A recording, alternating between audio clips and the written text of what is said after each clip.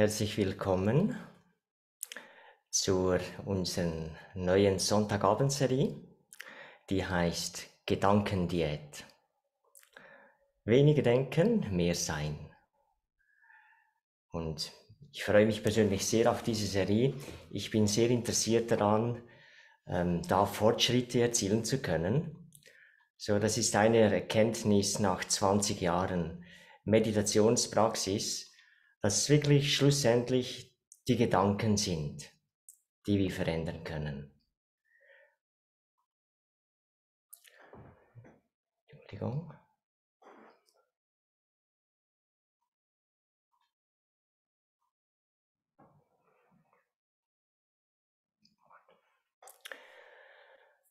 So, zum Aufbau dieser Serie wir möchten eigentlich mit dem, was wir hier machen, ganz, ganz einfach bleiben. Also wir möchten jedes Mal ein paar neue Inhalte vermitteln, damit unsere Motivation erhalten bleibt, da dran zu bleiben bei diesem Thema, wirklich unsere Gedanken verändern zu wollen. Wir werden Methoden kennenlernen und am Schluss immer auch eine Viertelstunde Meditation, wo wir das gerade üben, damit wir irgendwie nicht so mit einem großen Fragezeichen dann am Montag starten und denken, ja, wie soll ich jetzt das in die Praxis umsetzen, sondern wir wollen bereits jetzt heute Abend das umsetzen und dann einfach die Woche hindurch üben. Und ich denke, das ist die einfache Methode, Fortschritte zu machen. Und etwas anderes, was, denke ich, ganz wichtig ist, ist die Einfachheit.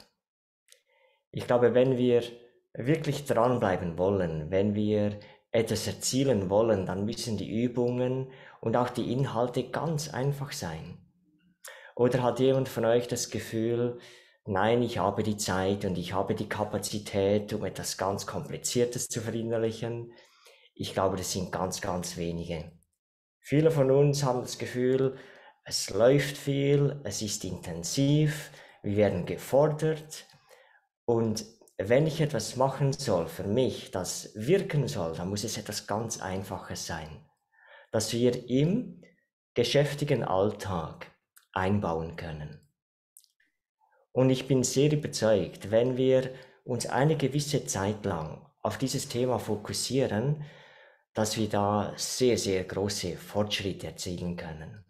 Eigentlich bei allem. Bei allem, wo wir uns eine Zeit lang fokussieren drauf. Da können wir Fortschritte erzielen. Und ich meine, die Gedanken, damals ein Augenmerk darauf zu richten, ich glaube, es gibt kaum etwas, das sich so lohnt. Weil jede Veränderung, die wir einleiten möchten in unserem Leben, es fängt bei den Gedanken an. Und es hört bei den Gedanken auf. So, wir werden auch immer neue, also neue Fort, ähm, Inhalte vermitteln, auch ein bisschen mehr in die Subtilität, Subtilität gehen, so damit wir die inneren Abläufe immer besser verstehen. Was sind das überhaupt die Gedanken? Wie passiert das da innen? Wie kann ich Kontrolle über die Gedanken erlangen? Warum habe ich so viele Gedanken? All diese Dinge, äh, diese Fragen wollen wir uns erarbeiten, aber auf einem ganz einfachen Niveau. Und auch damit wir ähm, zum Beispiel auch das Zeitgeschehen besser verstehen können. Wenn wir haben eine Umfrage gemacht und einige von euch haben diese Umfrage äh, beantwortet, wo es darum ging, ja, was, was löst denn so viele Gedanken in mir aus? Und einige haben gesagt, zum Beispiel die Zukunft. Und jetzt, wenn wir eine Sicht auf die Zukunft haben, die sehr hoffnungsvoll ist, und wenn wir sehen, dass wir absolut berechtigt eine sehr hoffnungsvolle Zukunft ähm, erwarten dürfen, dann sind die subtilen Ängste nicht da und wir haben dann ganz viel weniger Gedanken. Also dies sind solche Beispiele, die wir besprechen wollen. So, ich denke, 45 Minuten gehen relativ schnell vorbei. Und ich habe ein paar Bilder, die ich euch zeigen will. So, darum geht es. Diese Vögel, die konstant zwitschern, konstant denken. Wie können wir die ein bisschen ruhig stellen? Und wenn sie zwitschern, was können wir tun, dass sie ein schönes Lied pfeifen? Wenige denken, mehr sein. Es gibt Untersuchungen, die sagen, dass wir 20.000 Gedanken haben im Tag. Wenn wir in den Stress kommen, geht das hoch bis 40, 50, 60.000. Also konstant denken wir. Und die Qualität unserer Gedanken das ist das Entscheidende. Und wenn wir uns so fühlen wollen, wie auf dem Bild hier, wie müssen dann unsere Gedanken sein? Wenn wir das Gefühl haben wollen, ja, da unten am Berg, die Dinge passieren, es, nicht, nicht, es ist nicht alles optimal, Herausforderungen sind da, aber trotzdem so das Gefühl, ich bestimme selber über mich. Ich kann das steuern, was ich denke, was ich sage und was ich tue, mit dem Ziel, meine Gefühle auch steuern zu können. Und auf diesem Zusammenhang kommen wir heute noch. Es gibt jede Stunde gibt es so eine, eine Hauptmessage, die ich eigentlich rüberbringen will, mit der wir dann in die Woche gehen können. Und diese Hauptbotschaften, die sind, die sind ganz, ganz einfach. Und es sind auch Sachen, die ihr gehört schon habt oder schon davon gelesen habt. Aber wir müssen uns daran erinnern, weil es im Alltag einfach vergessen geht. Und eine Hauptbotschaft heute ist, dass die Gedanken meine Gefühle bestimmen. So was Einfaches. Aber wenn wir dann irgendwo mit unseren Gefühlen festhangen, wenn wir in die Angst kommen oder in den Ärger, dann können wir die Gedanken haben, also welche Gedanken denke ich jetzt und wie kann ich das ändern? Welche Gedanken kann ich stattdessen ändern, damit ich dann innerlich eine andere Erfahrung mache? Wir denken mit dem Geist. Und der Geist kann man sich vorstellen, damit, man irgendwie ein Bild hat. Das ist wie ein Gefühl produzierendes Organ. Der Geist ist ein gefühlproduzierendes Organ. Jetzt, welche Gefühle produziert der Geist? Der Geist produziert die Gefühle, die den Gedanken entsprechen. Also wenn ich andere Gefühle erleben will, dann kann ich dem Geist neue schöne, kraftvolle Gedanken füttern. Und das kann man ausprobieren. Wenn man sich mal nicht gut fühlt, sich eine halbe Stunde Zeit nehmen, einen Spaziergang draußen und denken, alles kommt gut, alles kommt gut, alles kommt gut, ganz langsam und tief. Oder am Morgen solche Gedenken solche Gedanken dem Geist füttern. Alles ist gut. Alles ist gut. Oder wenn man das Gefühl hat, man kommt nicht gut an bei den Leuten oder ich bin abgelehnt. Alle lieben mich. Alle lieben mich. Und das ist die einfache Art, wie wir subtile Programme im Innern überschreiben.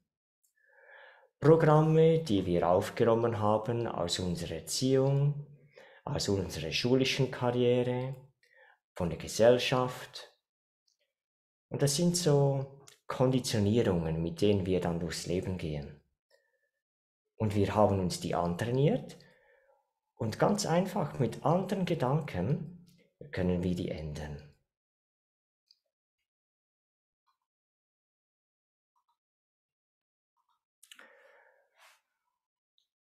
Da sind wir bei unserem Ziel. So wollen wir uns fühlen. Und ihr könnt euch gerade selber fragen, ja, was bedeutet dieses Bild für mich? Was, wo will ich hin mit meinen Gedanken? Was möchte ich erreichen? So, jede, jeder Baustein der Serie hier am Sonntagabend wird diese drei Dinge beinhalten. Erstens mal die Wirkung der Gedanken. Und das ist etwas, da müssen wir uns auch jedes Mal daran erinnern. Die Gedanken haben eine Wirkung. Es ist nicht nur ein Gedanke, ja, ja, okay, der Gedanke ist vorbei. Nein, der Gedanke hat eine Wirkung auf mein physisches Wohlbefinden, auf mein psychisches Wohlbefinden, auf meine Beziehungen, und so weiter. Das wollen wir immer wieder ein bisschen wiederholen. Zum Beispiel hier das Bild. Ja, wenn man sieht, da morgen, der fährt vielleicht zur Arbeit, die Leute um ihn herum, die sind alle nicht gut gelaunt. Was passiert, wenn er einfach ganz stoisch seine guten Gedanken weiterdenkt? Das wird eine Wirkung haben. Eine erste Wirkung ist, was sehr wichtig ist in der heutigen Zeit, er ist von den negativen Energien, die ihn umgeben, ist er geschützt. So das einfach als Beispiel. Und dann das Zweite, was wir immer anschauen wollen, sind Auslöser und Gründe für zu viele Gedanken. So, es gibt Situationen, die herausfordernd sind. Aber dann der Grund, warum ich leide in Situationen, ist, weil ich entsprechende Gedanken habe. So kann ein Beispiel machen. Ich war mal einkaufen, so eine, eine Weile her. Und da kommt eine Frau auf mich zu und sagt, Sie sind auch ein Doppel. ich weiß nicht, ob man das versteht in Hochdeutsch. So im, im Sinn von, sie sind wirklich ein völliger Dummkopf. Und ich war einfach so an meinen Früchten auslesen, aber die fand jetzt einfach, dass ich ein Double bin. Und, und ich musste schmulzen und dann hat sie gesagt, und dann noch dieses doofe Lächeln. So, was will ich damit sagen? Der Auslöser das war einfach eine Situation. Aber weil es für mich so offensichtlich war, die Person, die kennt mich gar nicht und mit ihr steht, stimmt etwas nicht, der geht es nicht gut, weil mir das so völlig klar war, hat das doch in mir überhaupt nichts ausgelöst. Kein einziger negativer Gedanke. Wenn mir aber dasselbe passiert, zum Beispiel an der Arbeit, dann hätte ich vielleicht ganz viele Gedanken nachher. Aber da könnte ich eigentlich auch verstehen, wenn an der Arbeit mich jemand klein macht zum Beispiel, kritisiert, angreift, wenn ich da verstehe, aha, dieser Person geht es nicht gut. Zum Beispiel kann ich ganz anders damit umgehen. Aber ich muss vorbereitet sein auf eine solche Situation, damit ich dann verstehen kann, ach so, diese Person geht es nicht gut. So, und dann der dritte Teil einer jeder Session, die wir da machen am Sonntagabend, Methoden der Gedankenkontrolle. Das, das können ganz spielerische Methoden sein. Und das Wichtige ist, verschiedene Methoden experimentieren, damit das Ganze irgendwo spannend bleibt, heiter bleibt. Das soll nichts Ernstes sein, oh ja, jetzt meine Gedanken. Nein, ist doch toll. Jetzt machen wir uns, Entschuldigung, jetzt machen wir uns daran, die Gedanken zu verändern.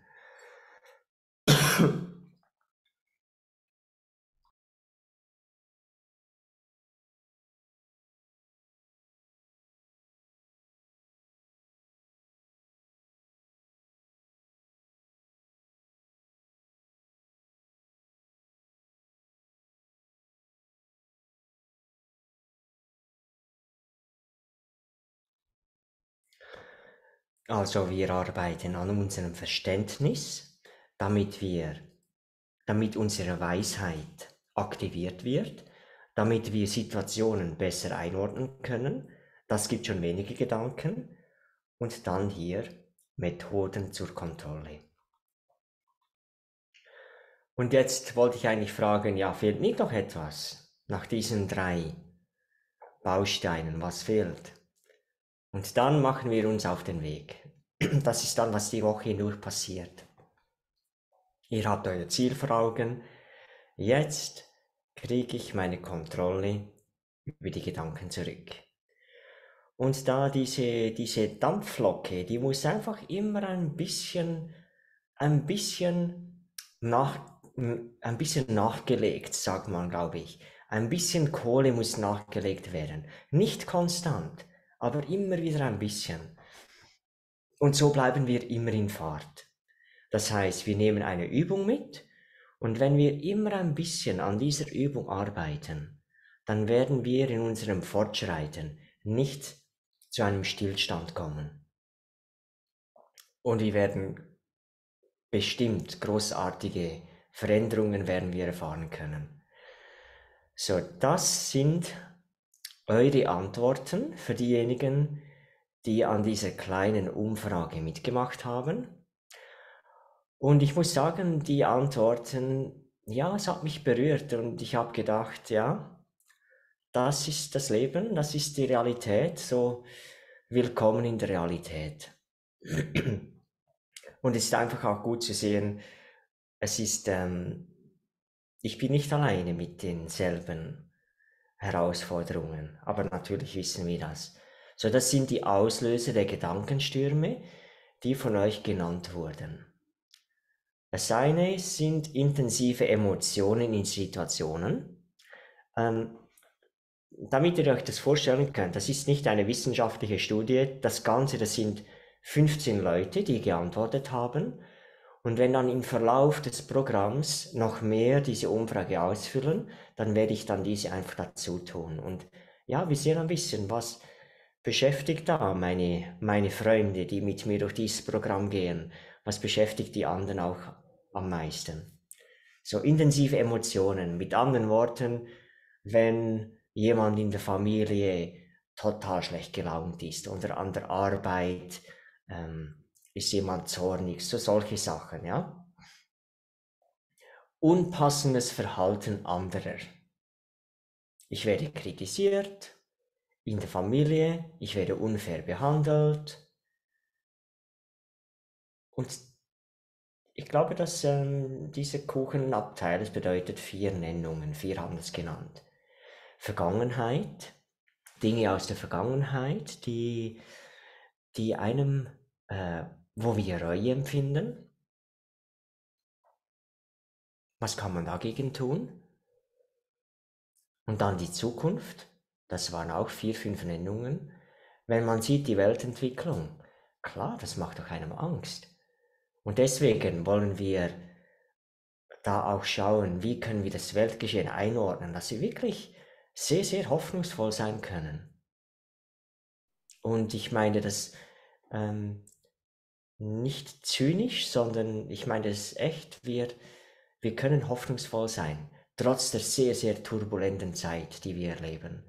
Dann das eigene Verhalten, zum Beispiel möchte ich mein Essverhalten ändern, zum Beispiel, oder die Gesundheit, Müdigkeit, Schlafprobleme, ähm, Umstände wie Administration, die mich konstant beschäftigt hält, oder finanzielle Engpässe.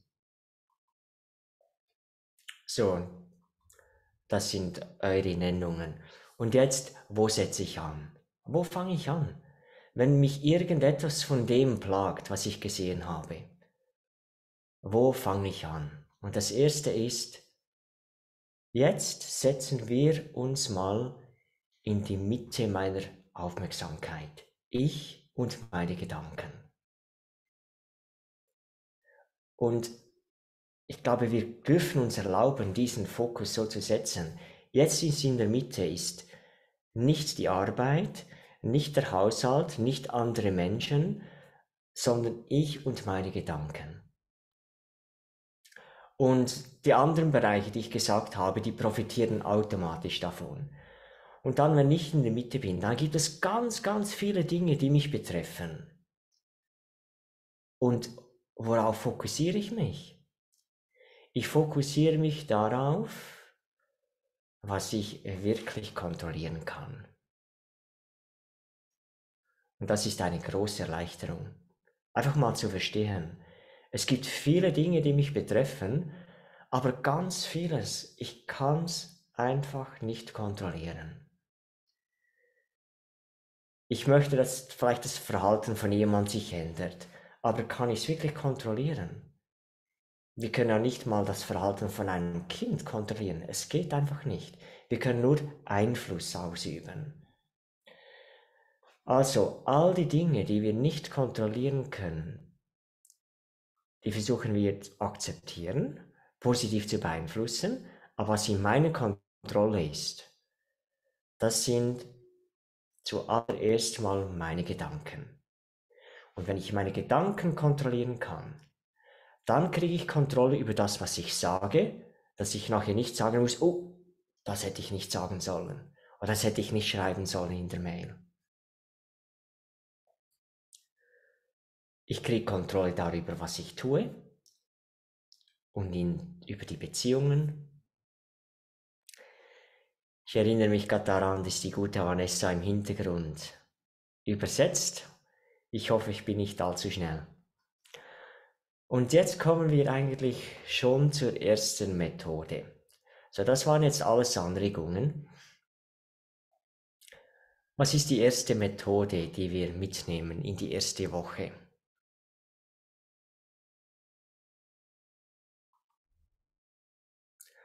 Ganz einfach. Stopp.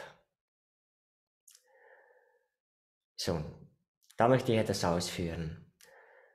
Wir haben wie vergessen, oder das ist nicht mehr unsere Erfahrung, dass wir eigentlich wirklich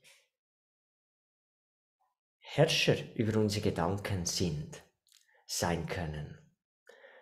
Stellt euch mal vor, ein Waisenhaus, wo keine Aufseherin und kein Aufseher da ist.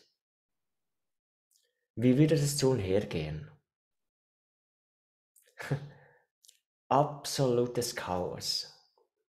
Absolutes Chaos. Und genauso habe ich wie vergessen, dass ich eigentlich da oben der Meister bin. Ich sage, ich kann die Gedanken erschaffen. Ich kann Gedanken erschaffen, aber ich kann auch Gedanken, die mir Leid bringen, kann ich sagen, stopp. Und diese Erfahrung müssen wir wiederkommen. Und das ist was sehr, sehr Angenehmes, plötzlich zu merken, wow, ich kann meine Gedanken stoppen. Natürlich ist es nicht von heute auf morgen da, aber wenn wir uns darauf fokussieren, dann können wir schnell Fortschritte erzielen. Wir bekommen ein Gefühl dafür. Je schneller wir die Gedanken stoppen können, desto einfacher. Das ist wie, wenn ich den Berg runterrolle. So, wenn ich mal richtig in Fahrt bin, dann ist es schwierig zu bremsen. Aber wenn ich ganz so mal am Berg stehe und ganz so anfange runterzugehen, dann kann ich ganz leicht bremsen. Und genauso, wenn wir innerlich so aufmerksam sind und merken, Moment, das sind genau die Gedanken, die mir nachher Leid, Leid verursachen, die mich in die Spannung bringen. Oder ich weiß, wenn ich jetzt so weiterdenke, es geht eine halbe Stunde und ich bin total ausgelaugt. Ich könnte gerade schlafen gehen. So, da wollen wir ein Gefühl dafür entwickeln und stoppen. Das üben wir nachher. Und dann, was machen wir stattdessen? Wir müssen eine Alternative haben. Eine Alternative, und das ist die einfachste Methode eigentlich, ist einfach mal da zu fokussieren, zu diesem Fokus zu kommen, zu diesem Lichtpunkt. Wir werden dann noch über diesen Lichtpunkt sprechen. Einige von euch wissen schon ganz viel davon, aber für diejenigen, die neu sind, wir noch davon sprechen. Aber jetzt geht es einfach darum, da zu fokussieren. Und von mir persönlich, ich weiß, dass in meiner ganzen Meditationspraxis, das ist das, dieses Stoppen ist da, wo ich noch zu wenig Aufmerksamkeit darauf gerichtet habe. Diese Gewohnheit, sobald ich merke, das sind die Gedanken, die mich nicht gut tun, stopp. Es wäre eine Bau auf eine Baustelle, der sagt, halt, da kannst du nicht weiter. Und so können wir mit den Gedanken sagen, Moment, da geht's, da geht's nicht weiter. Aber dann, wo geht's weiter? Wir fokussieren einfach hier auf diesen Punkt, auf diesen Lichtpunkt in der Stirn. Weil die Gedanken, die uns nicht gut tun, ihr werdet etwas feststellen, die sind nie da. Die Gedanken, die sind entweder da, beim Nachbarn, an der Arbeit, in der Zukunft, in der Vergangenheit. Die sind überall, außer hier. Und das können wir üben, wenn wir zu einem Stillstand kommen und hier ankommen, dann hört das Denken auf. Und jetzt noch sehr etwas Motivierendes. Ein Gedankensturm dauert zwischen drei und fünf Minuten. Ihr könnt das ausprobieren. Das heißt, etwas passiert oder dieselben alten Gedankenmuster kommen und ihr merkt, jetzt geht's los. so, jetzt fängt das Schauspiel an da drin. Und wenn ihr dann sagt, aber jetzt nicht mehr. Stopp. Mit dieser Autorität. Stopp. Und dann bindet ihr eure Aufmerksamkeit hier an. Und das, wenn ihr das schafft, zwischen drei und fünf Minuten, ohne diesen Gedanken reinzugehen, dann lässt der Druck nach. Und ihr merkt, oh, es ist vorbei. Sturm ist vorbei. Ihr könnt garantiert sein, der Sturm wird wiederkommen, natürlich, bis wir uns auch ein anderes Verständnis angeeignet haben, andere Gedankenmuster aber so nehmen wir Kraft aus diesen Stürmen. Also nochmals, nachher gehen wir in die Übung.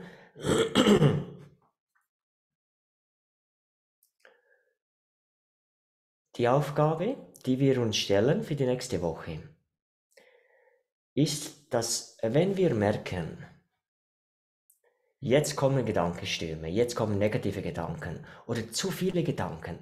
Etwas, das vielleicht, ja, es war okay, das zu denken, aber jetzt stopp bitte. Ich muss es nicht zehnmal denken, 20, 30 Mal. Wenn ich zum Beispiel gedacht habe, ja, mit dieser Person muss ich das Gespräch suchen noch. Okay, stopp. Aber dann, der Geist will weiterdenken und sich noch rechtfertigen und schon vor, ja, und das werde ich dann sagen, das werde ich sagen. Stopp. Einfach in den Frieden kommen. Und ich denke, ihr könnt für euch eine andere Qualität nehmen, wenn ihr wollt. Aber ich glaube, wir sind gut beraten, einfach da auf den Frieden zu fokussieren. Es kann auch Stärke sein, Kraft, wenn jemand denkt, nein, ich brauche jetzt vor allem Kraft dann könnt ihr sagen, okay, hier, ich gehe ins Zentrum der Kraft. Aber Frieden ist auch eine Kraft. Okay, ähm, ich bin ein bisschen ausprobieren. Wenn ich jetzt ähm, euch einlade, Fragen zu stellen, dann geht es vielleicht zu, zu lange und diejenigen, die pünktlich aufhören wollen, denen möchte ich die Chance geben. Also werden wir jetzt eine Meditationsübung machen, die uns vorbereitet auf, den, auf die nächste Woche. Und nachher können wir noch so, ähm, wir können auch so machen, wenn ihr Fragen habt, könnt ihr die in den Chat schreiben ich kann die vielleicht beim nächsten Mal aufgreifen oder auch per Mail beantworten. Das ist auch möglich. So, ähm,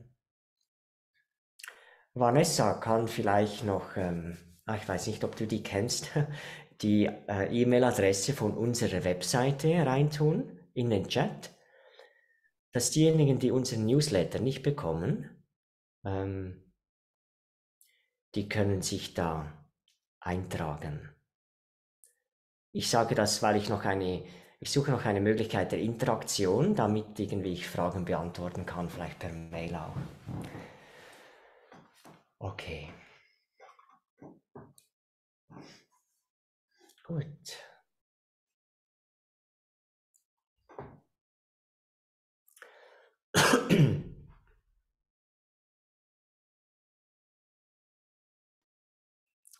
Sehr gut, danke Vanessa. Das ist noch viel besser. Die E-Mail-Adresse. Von einigen von euch habe ich die E-Mail-Adresse. Ähm, da können wir auch im Austausch bleiben. So, jetzt setzt euch aufrecht hin. Wir denken nicht mal, dass wir meditieren, sondern wir kommen einfach in unseren Frieden. Ich komme einfach in meinen Frieden.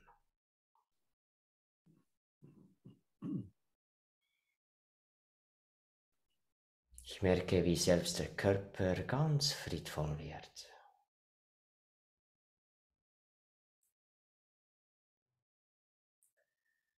Selbst die Organe des Körpers werden friedvoll.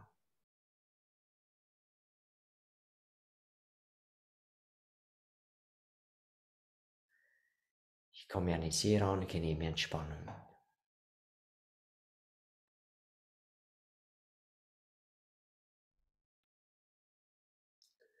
Und ich schaue mal, ob ich irgendwo Spannungen finde im Körper. Und wenn ich merke, ja, das sind Spannungen, dann lasse ich das einfach los. Mit guten Gefühlen.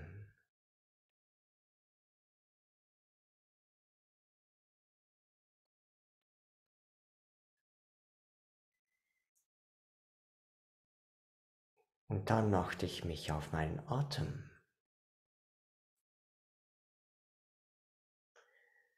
Ich begleite meinen Atem mit meiner Aufmerksamkeit.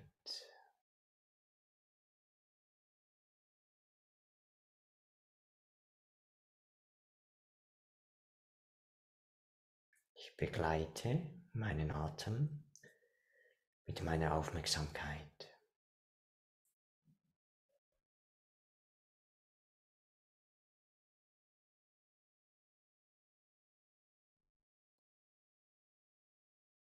Spüre, wie es automatisch atmet.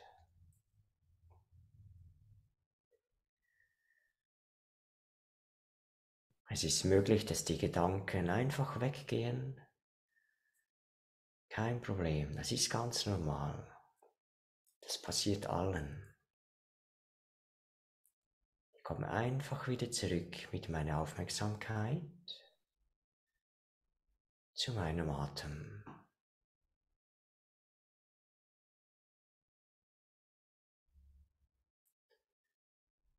Und jetzt beobachte ich meine Gedanken.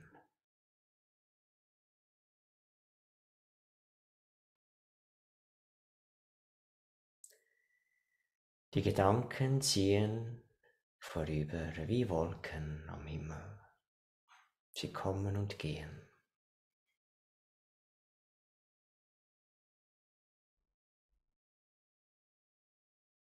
Gedanken kommen, Gedanken gehen.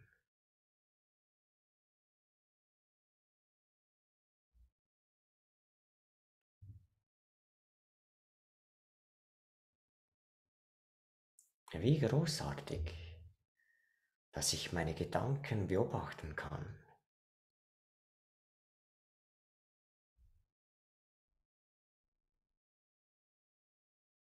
Ich merke, da gibt es einen Abstand zwischen mir und den Gedanken.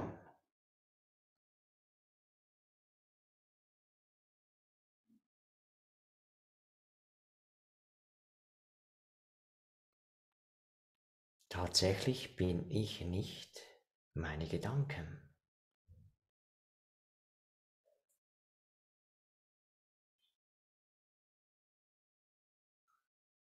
Und deshalb kann ich sie beobachten.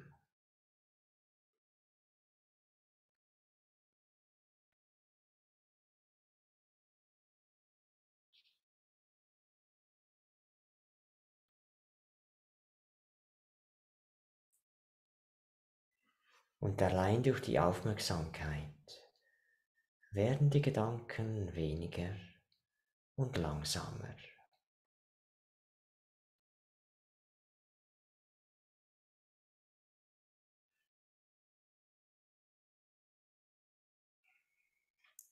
Geist wird immer ruhiger.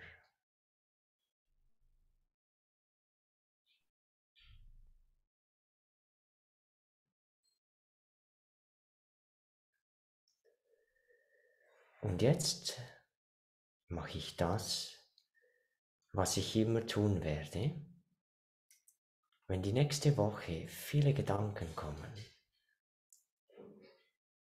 oder unangenehme Gedanken kommen. Ich sage Stopp.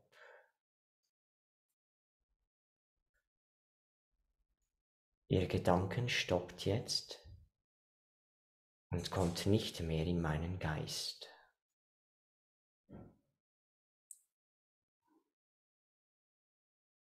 Und jetzt bringt ihr die Aufmerksamkeit zur Mitte der Stirn.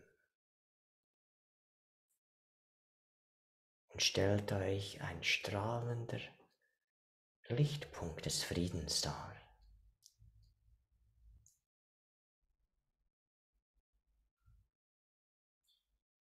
Stellt euch diesen Punkt vor und schaut einfach in diesen Lichtpunkt hinein.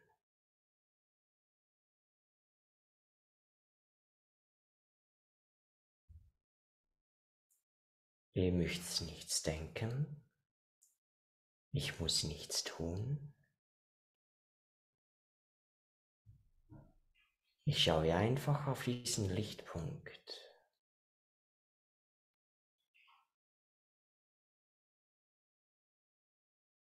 Und dieser Punkt ist angefüllt mit Stille und Frieden.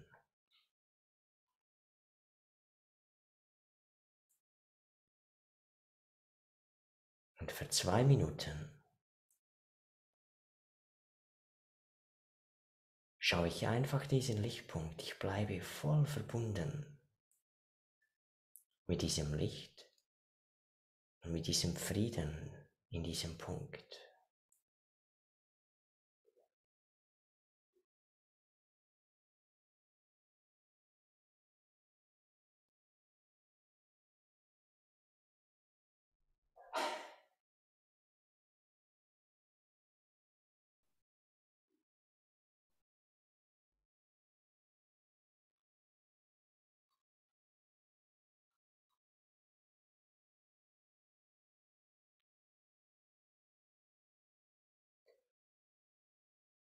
Und noch eine Minute schaue ich einfach in diesen Lichtpunkt hinein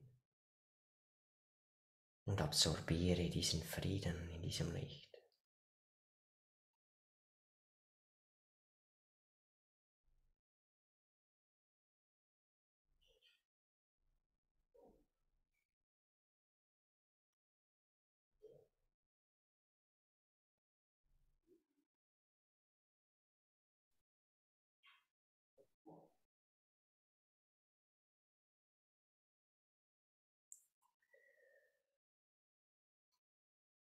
Okay.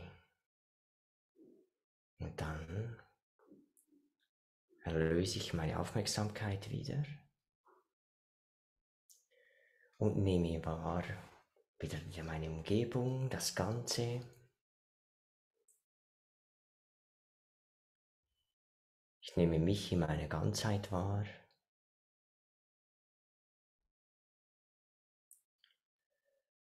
Und ich hoffe, ich habe ein Gefühl dafür bekommen, wie diese Übung geht. Und ihr werdet feststellen, wenn wir das ein paar Mal machen, dann wird es immer natürlicher.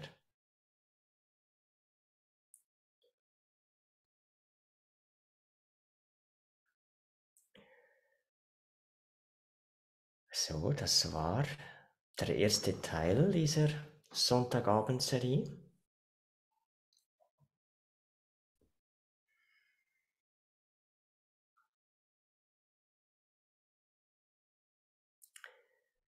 Ich möchte noch die Gelegenheit geben, Fragen zu stellen.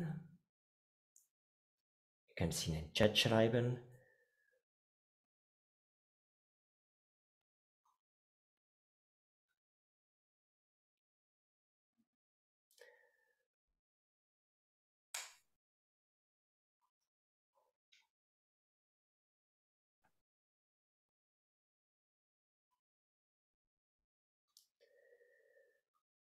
Und wer will, kann einfach ähm, noch ein bisschen die Stille genießen auch, meditieren für sich. Und ich hoffe, wir sehen uns wieder am nächsten Sonntag. Und ich wünsche euch toi toi toi. Denkt daran, ein Gedankensturm dauert nur drei bis maximal fünf Minuten. Und dann lässt der Druck nach. So lange müsst ihr es aushalten und hier bleiben. Stopp, stopp. Ins Licht schauen und dann hört es auf. Also viel Erfolg, danke fürs Dabeisein. Tschüss zusammen.